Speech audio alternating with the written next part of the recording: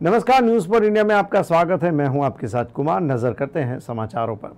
वीरेंद्र कुमार को लोकसभा उम्मीदवार बनाए जाने पर कार्यकर्ताओं ने आतशबाजी की और खुशियाँ मनाई। जी बात करते हैं टीकमगढ़ की। तो भाजपा ने शनिवार शाम लोकसभा चुनाव के लिए मध्य प्रदेश के 24 उम्मीदवारों की सूचना जारी कर दी है, जिसमें टीकमगढ़ लोकसभा के लिए एक बार फिर डॉक्टर वीरेंद्र कुमार पर भरोसा जताया गया। उन्हें लगातार चौथी बार टिकट देकर मैदान में उतारा गया है। शनिवार शाम को सूची जारी होते ही देर शाम भाजपा कार्यकर्ताओं में सिविल लाइन रोड स्थित डॉक्टर वीरेंद्र कुमार के बंगले पर पटाखे फोड़कर जश्न मनाकर एक दूसरे को मिठाई खिलाकर बधाई दी। इस दौरान भाजपा जिलाध्यक्ष अमित नूना, सांसद प्रतिनिधि अनुराग वर्मा, विवेक चतुर्वेदी, प्रफुल्ल द्विवेदी, अनिश खान मुन्ना साहू सहित भाजपा कार्यकर्ता मौजूद रहे।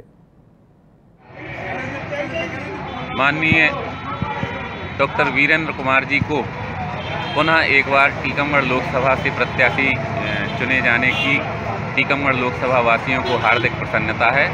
मैं भारतीय जनता पार्टी टीकमगढ़ ज़िले की ओर से माननीय प्रधानमंत्री नरेंद्र मोदी जी, आदरणीय राष्ट्रीय अध्यक्ष जे पी नड्डा जी और प्रदेश के नेतृत्व को, आदरणीय वी डी भाई साहब जी, डॉक्टर मोहन यादव जी सहित सभी नेतृत्व को हार्दिक आभार व्यक्त करता हूँ और समस्त लोकसभा वासियों को विनम्र निवेदन करता हूँ कि जिस तरह से विगत समय में माननीय डॉक्टर वीरेंद्र कुमार जी ने पूरे क्षेत्र के विकास के लिए जी जान लगा के काम किया है, इस बार फिर से उनको आशीर्वाद दें और पुनः बड़ी बड़े अंतर के साथ टीकमगढ़ लोकसभा में भारतीय जनता पार्टी की जीत हो और पुनः एक बार प्रधानमंत्री हमारे यशस्वी प्रधानमंत्री आदरणीय नरेंद्र मोदी जी एक बार फिर से बड़े अंतर के साथ बड़ी बड़ी जीत के साथ वो प्रधानमंत्री बने जिससे आग, आगे आने वाले समय में विश्व में भारत माता की जय जयकार हो।